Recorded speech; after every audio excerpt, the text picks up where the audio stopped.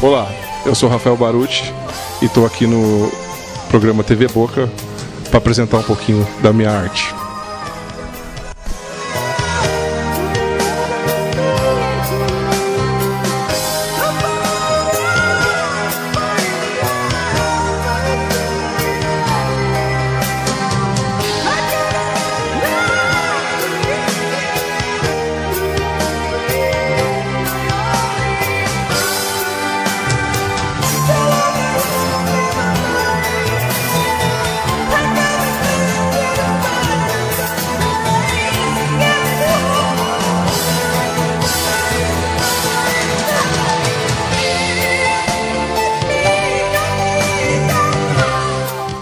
Gente, hoje o meu convidado, o entrevistado, Rafael Baruti. Gente, o cara é espetacular.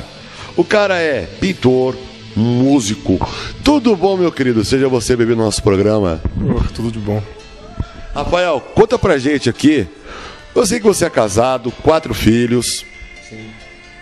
Lindos. Sua esposa. Me fala um pouquinho da sua vida. Bom, a, a arte está na minha vida desde muito cedo. É, meu pai pintava quadros e a gente, eu e meu irmão, que é o Baruti, tatuador, a gente desenhava muito de, desde de criança. E eu acho que isso foi muito legal, é, porque a gente tinha uma certa comp competição, assim, sadia, né? E a gente sempre é, desenhava e queria ser, fazer melhor, melhor, melhor. E a gente foi desenvolvendo essa arte, né? A pintura, isso veio muito tarde na minha vida. Eu, eu comecei mesmo com desenho. Desenhava muito com grafite. Comecei a pintar mesmo, eu já tinha, sei lá, uns 20 anos.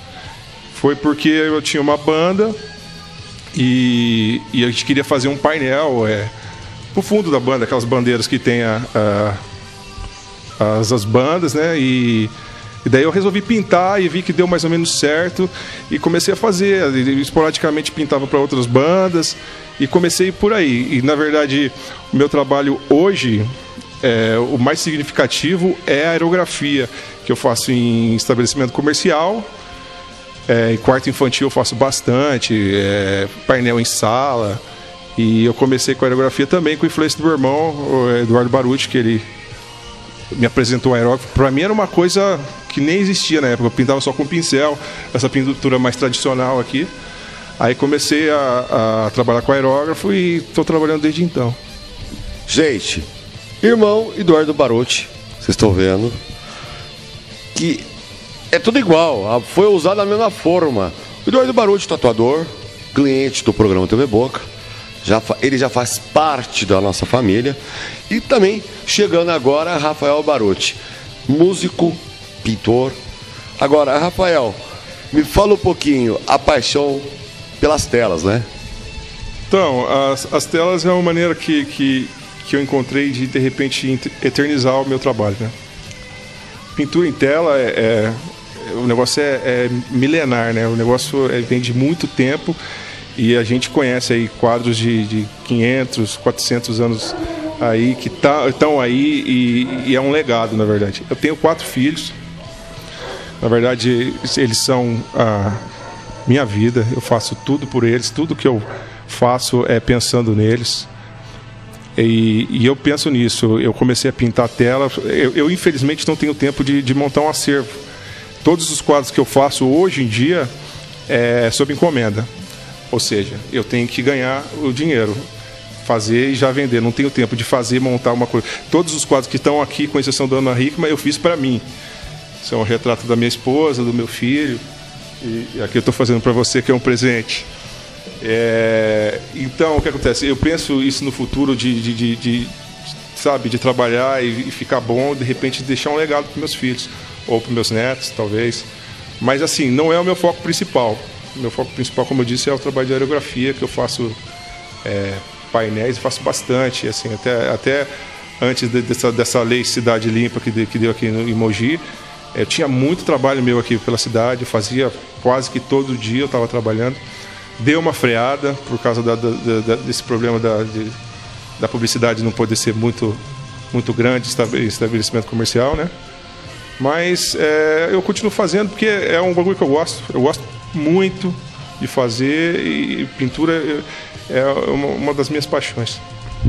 Gente, é, foi bacana o, o que o Bertalho fez em Monte das Cruzes, né?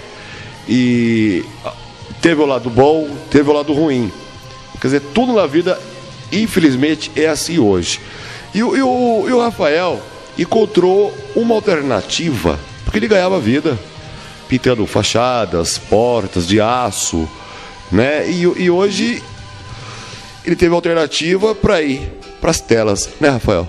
Isso, e eu continuo fazendo aerografia ainda. Também, também concordo que, que, por um lado, foi muito bom, porque é, mesmo todas as áreas, né? Tem bons profissionais e, e, profissionais ruins. Tinha muita gente que fazia coisa muito feia, uma poluição visual incrível em Mogi. É, Mogi ficou mais bonita, só que é, eu, eu, acho que deveria ter uma seleção, e até tem, porque assim, tem alguns trabalhos que eu fiz, é, até bem grandes, que, que é o caso do Café Lourenço, que, que é um prédio gigante e está lá até hoje. Está lá até hoje. Está lá porque, porque, na verdade, aquilo lá não é publicidade, é uma decoração. É diferente. A gente faz ainda pintura decorativa, e isso é possível ainda. E não esquecendo que você também pintou o quarto do Cris, o nosso DJ Cris Campos, do Flashback que marca presença, mudancidez. Eu vi que você fez uma pintura ali do Ramones e do Kiss, não é? É, então, ele pediu para eu repro reproduzir duas capas ali clássicas, né? Que é o Road Room do, do, do, do, Ramones e, e Rock and Roll Over do Kiss. E, e, eu tentei fazer o mais fiel possível ali. Eu acho que ele ficou feliz com o resultado. E não esqueceu do dragão que você fez também, não é? Ali na janela. É, aquele lá é, é, mais ou menos. Adaptei um desenho que ele tinha, que ele gostava lá, eu peguei e adaptei para o espaço que ele tinha lá. Gente, vamos chamar os nossos comerciais. Logo em seguida, eu volto com esse bate-papo com o Rafael Baruti. Não saia daí, volto já.